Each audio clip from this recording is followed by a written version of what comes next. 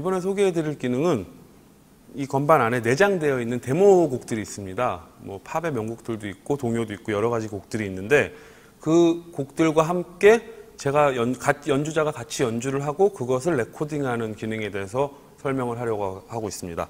먼저 음, 본인이 연주할 음색을 골라주셔야겠죠. 저는 비브라폰 같은 소리로 연주를 해볼게요. 뭐 이런 소리로 연주를 해볼 거고요. 송뱅크를 눌러보겠습니다. 눌러보면 지금 트윙클이라는 1번 트윙클이라는 데모곡이 있고요. 뭐 이렇게 기타 등등 쭉 많습니다. 데모곡들이 다 들어보시고 본인이 아, 이 곡 좋다 싶으면 같이 어떤 음색을 지정해서 연주해 보시면 괜찮을 것 같고요. 1번 트윙클이 어떤 노래인지 잠깐 한번 들어볼까요? 플레이.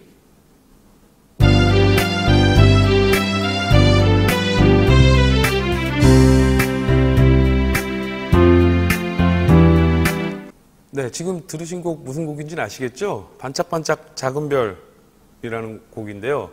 지금 메인 멜로디 땅땅땅땅 이 메인 멜로디 빠져 있는 것 같아요. 여기에 맞춰서 멜로디를 연습하고 연주하시려고 하시라고 멜로, 메인 멜로디는 빠져 있는 것 같습니다.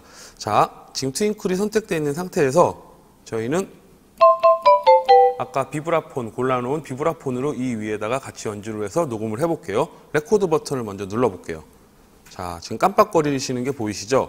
오른손이 깜빡깜빡대고 있어요. 오른손으로 연주를 할 땐 오른손이 깜빡거리고 있고 여기 코드 버튼을 눌러서 한 번 더 누르면 왼손이 깜빡거리고 있죠. 이제 왼손을 레코딩할 때 쓰시면 되겠고 양손 이렇게 하면 양손을 같이 레코딩할 때 쓰시면 되겠고 저는 멜로디만 연주할 거기 때문에 오른손으로 설정을 해놓고 스타트를 누르면 바로 레코딩이 시작될 것 같습니다.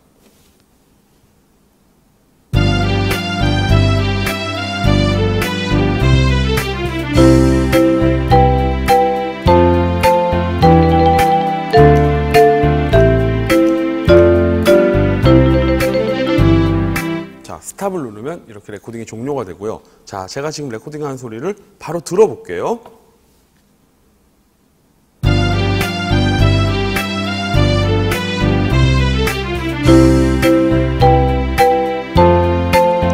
자, 지금 제가 연주하는 게 여기 피아노 그래픽 안에 어떤 음을 치고 있는지도 나와 있고 그렇습니다. 음, 네, 지금 나라라라라 해갖고 8마디 정도 한 테마를 비브라폰으로 녹음을 해봤고요. 만약에 이 멜로디 입혀 놓으신 것이 마음에 안 드실 경우에는 삭제를 해야 되는데 지우는 방법에 대해서 말씀을 드릴게요. 레코드 버튼을 먼저 한번 눌러주시고 이 상태에서 레코드 버튼을 길게 한번 더 누를게요. 그러면 화면에 song delete라고 되어 있죠.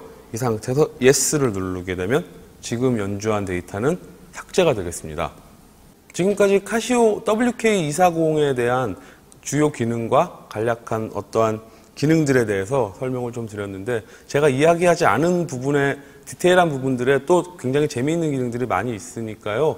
여러분들도 매뉴얼 보시면서 좀 공부하시면 더 풍성한 사운드를 만드시는데 도움이 좀 되실 거라고 생각합니다. 지금까지 김장원이었고요. 즐거운 음악 생활 하시길 바라겠습니다. 고맙습니다.